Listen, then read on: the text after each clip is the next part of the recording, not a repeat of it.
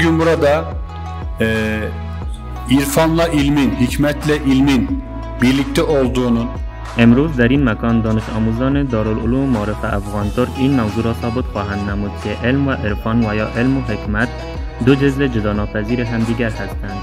دانش آموزان ما این را به نمایش خواهند گذاشت که در پهلوی علوم دینی چگونه علوم ساینسی را نیز بیاموزند. اگر نگاه کوتاه به تاریخ داشته باشیم می‌بینیم که dانشمندان در پهلوی علم ستاره شناسی و موضوعات فقهی نیز آگاهی داشتند. امروز ما در این مکان شاهد تکرار تاریخ هستیم.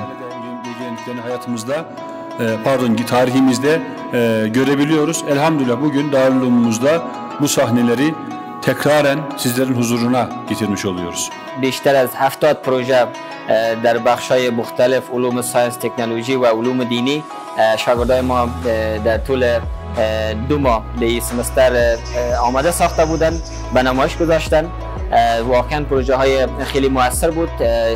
جنبه عملی داشت. ما می‌تونیم این پروژه را تقویت بسازیم و در آینده این پروژه در جامعه خود در کشور خود پیاده بسازیم. زمونږ په مکتب کې تقریبا تر اویا پورې کومې پروژې پروژې ولې هغه په ډیر ښه شکل باندې سر ته ورسېدلې او ټولو اه، مفید معلومات ترلاسه کړل او په یعنی موږ لپاره هم په درسي برخو کې مفید تمام سو چگونه می توانیم به عظمت قبلی تمدن اسلام برگردیم؟